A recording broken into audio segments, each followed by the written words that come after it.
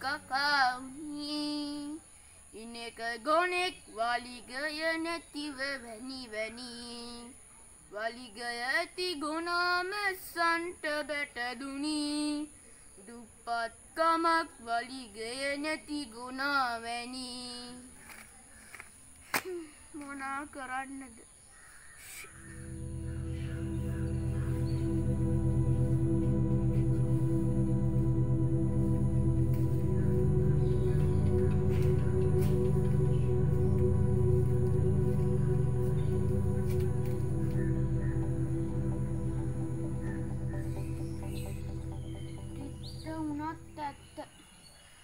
ශිෂ්ෂත්ව පාසුනා කියලා කොළඹ ඉස්කෝලයකට යන්නතුව ගම ඉස්කෝලය අකුරු කලා නම් ඊට වඩා හොඳයි කියලා මට හිතෙනවා. මට මේ ඉවසන්න බැරි සල්ලිකාර කොල්ලන්ගේ පම්පෝරි.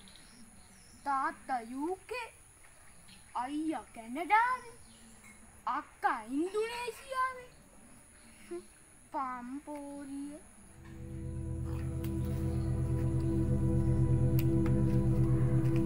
පුතේ මොකද මයි පුතේ ඈ? බොහොම ශෝකෙන් කනස්තල්ලේ ඈ? දොම්නසි පස්තත්තාපෙන් කල් ගෙවන්නේ මොකද උතන වාඩි වෙලා මං අහන්නේ?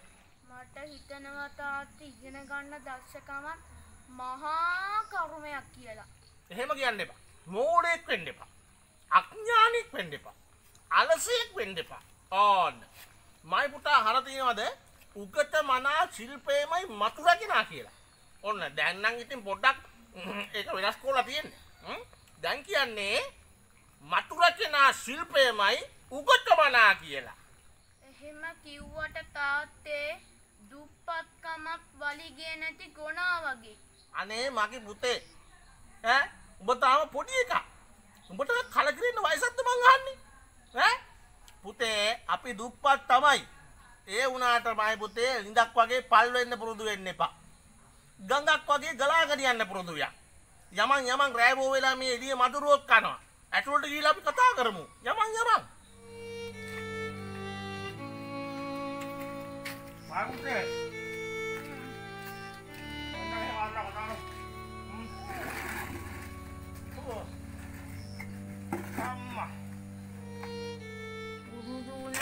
වැඩක් නෑ තාත්තේ. තාත්තා දන්නේ නැනේ සල්ලිකාර කොල්ලෝ කියන කතා. උන්ට තියෙන රජමාලිගා ගැන. උන්ට තියෙන කාර් බෑග් ගැන. එකෙක් කියන උගේ තාත්තට තියෙන අවුඩියක් කියලා. අ, තව එකෙක් කියනවා උගේ තාත්තාට තියෙන්නේ ලැම්බෝගිනියක් කියලා. තව එකෙක් කියනවා උගේ තාත්තට තියෙන්නේ ජැගුවරයක් කියලා. උන් හැමදාම අහනවා අපේ තාත්තට තියෙන්නේ මොකක්ද කියලා. මයි පුතේ උඹ ඕවා ඇහුනත් නොහැවුනා වගේ ඉඳපා දැක්කත් නොදැක් වගේ ඉඳපන් මයි පුතේ ඇහුණත් නොහැවුණ වගේ ඉන්න දැක්කත් නොදැක්ක වගේ ඉන්න මම ගහක්ද? ගලක්ද? හරි ගමන් නෑ පුතේ. මොනා කරන්නද ඉතින්? දැන් උඹ මොනවද කිව්වේ? මම කිව්වෙද? මම ඉවසන්නම බැරි තැන මං කිව්වා මගේ තාත්තර තියෙනවා කියලා. මගේ තාත්තට තියෙනවා කියලා? ඔව් තාත්තට ඉතින් තියෙනවනේ. ඉතින් මං තියෙනවා. මොකද්ද මම පුතේ ඉතින් තාත්තට තියෙනවා කිව්වේ? තියෙනවා කිව්වේද? RSS RSS RSS RSS RSS